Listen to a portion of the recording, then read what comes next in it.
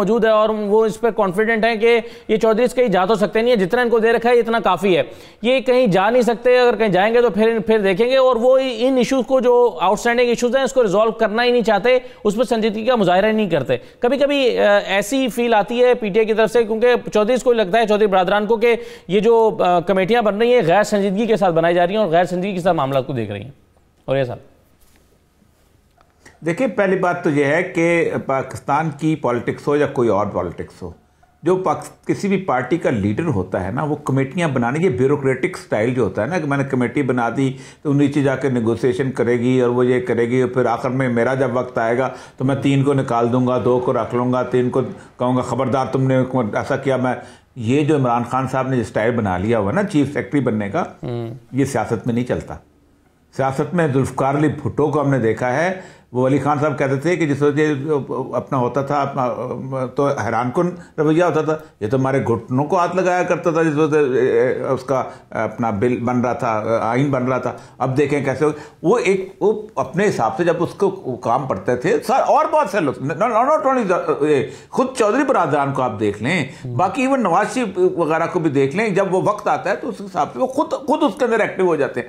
عمران خان صاحب نے اپنے آپ کو شیل میں رکھا ہوا ہے۔ ایک بات دوسرا وہ انہوں نے کہا جی انہوں نے ووٹ وہ نہیں لیے تھے۔ بھائی، آپ نے ووٹ نہیں پاکستان کے لیے نہیں لیے تھے۔ آپ کی اکثریت نہیں تھی۔ آپ بیٹھ جاتے، آپ انتظار کرتے۔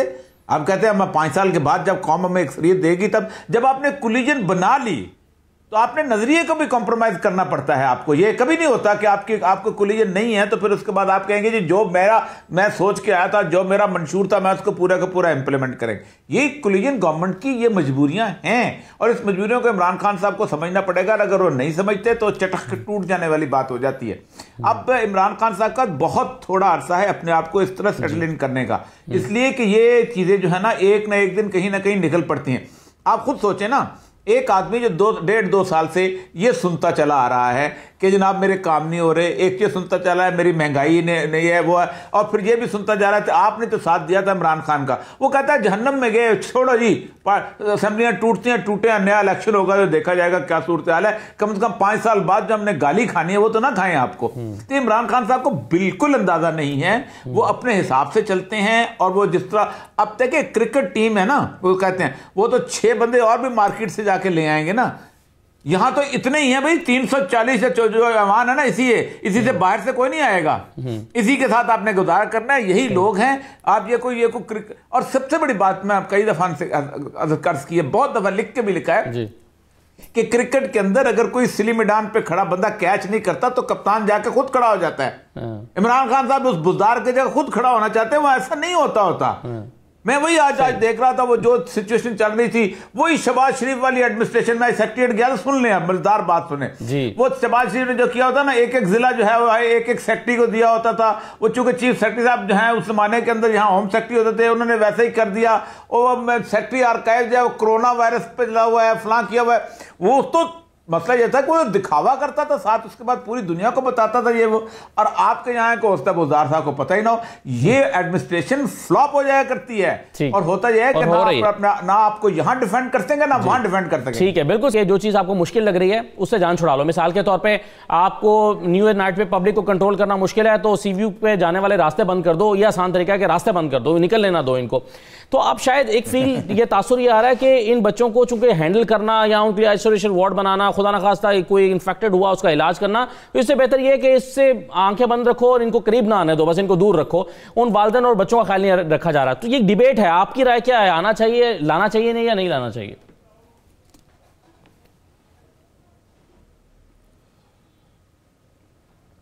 اور یہ صاحب۔ بات کر رہے ہیں؟ جی اور یہ صاحب۔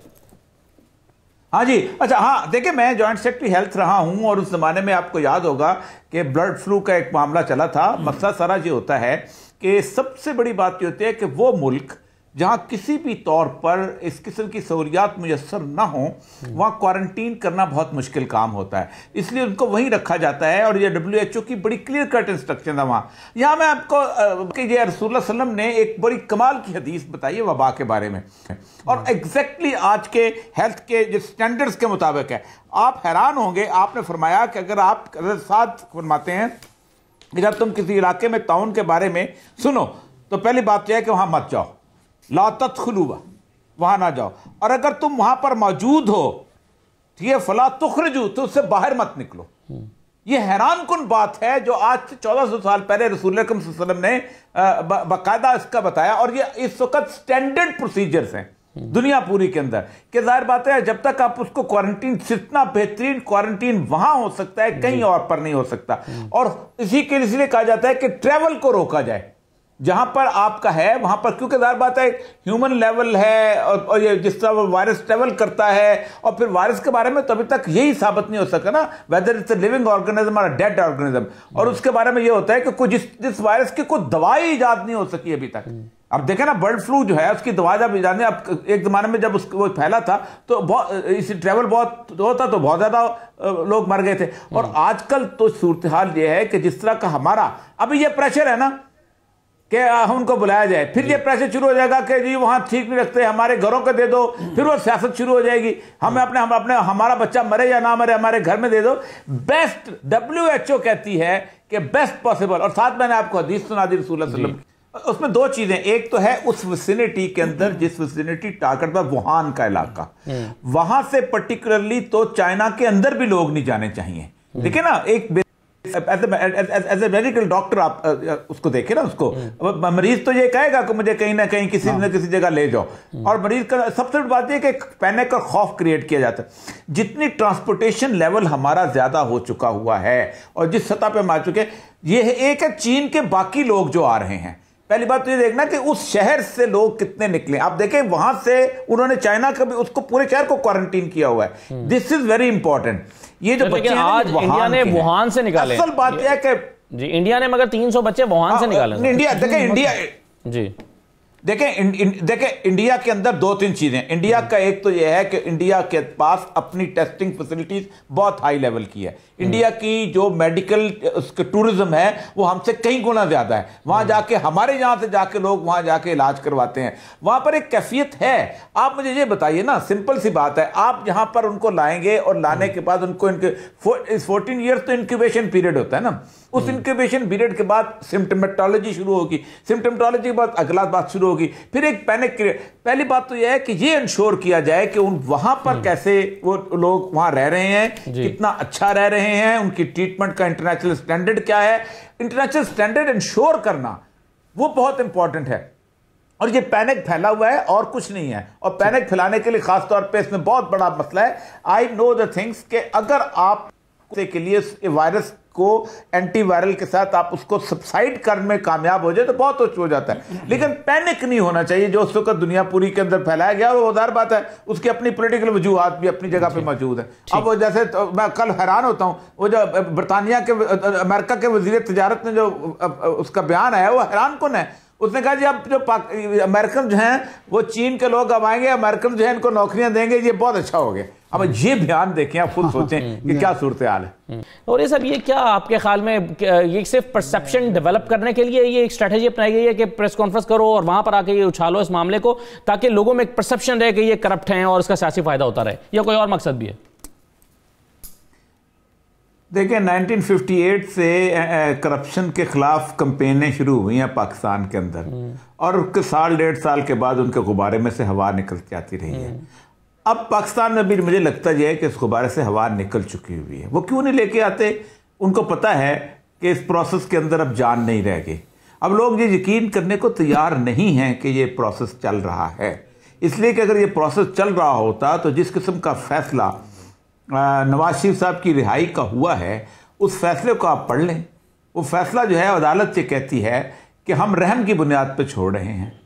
اگر عدالت رحم کرے گی تو انصاف کون کرے گا؟ عدالت کے پاس تو رحم نام کی کوئی چیز نہیں ہوتی۔ عدالت تو انصاف کرنے کے لیے بیٹھی ہوتی ہے۔ اور پھر ایسی جگہ پہ فیصلہ کیا گیا آپ خود دیکھیں کہ ان کو چھوڑا گیا ہے نواز شریف صاحب کو انگلینڈ جائیں گے وہ۔ جس کی جورسٹرکشن جہاں نہیں ہے ہماری آپ نے کہا وہاں جا سکتے ہیں الاؤ کر دیا۔ ایک ایسے آدمی سے ضمانت لی کہ جو کل کو آ کے یہ کہہ دے کہ وہ ایک ایسی جورسٹکشن میں بندہ بیٹھا ہوا ہے میں اس کو لانا چاہتا ہوں وہ میرے اوپر اغوا کا کیس کر دے گا آپ کیا جی، کریں گے؟ آپ کی کوئی ایکسٹریڈیشن ٹریٹی نہیں اور جس کا جس کا لیا آپ نے ایک ایسے جس کی ضمانت دی وہ خود بھی ضمانتی بھی باہر چلا گیا ضمانتی بھی باہر باہر۔ جائیں گے۔ سر اس میں کنکلوڈنگ پورے کے پورے جی۔ فیصلے میں ایک لیگل ریفرنس بتا دیں تو ختم سر وہ غبارے میں ہوا نکل گئی جی، ہوئی ہے ارشاد صاحب۔ صاحب اصل والے غبارے میں اسی لیے وہ پریس صاحب کانفرنسیں ہوں ہوں گی صداقت عباسی صاحب ہوں عمران خان صاحب ہوں۔ اب یہ حکومت میں ہیں۔ ان کو بجائے اس کے کہ میڈیا ٹرائل کرنے کا ایف آئی اے ان کے پاس ہے۔ ایف آئی اے انویسٹیگیشن شروع کرے کیسز ان کے پاس ثبوت سارے موجود ہیں عدالتوں میں جائیں سزائیں دلوائیں۔ ہمیں جب میڈیا کے ذریعے آپ یہ باتیں بتاتے ہیں تو نتیجہ یہی ہوتا ہے کہ آپ پر الزام لگتا ہے کہ۔ میڈیا آپ میڈیا کو ٹرائل کر رہے ہیں۔ آپ کو یہ احساس ہونا چاہیے کہ یہ حکومت ہے آپ اپوزیشن میں نہیں ہے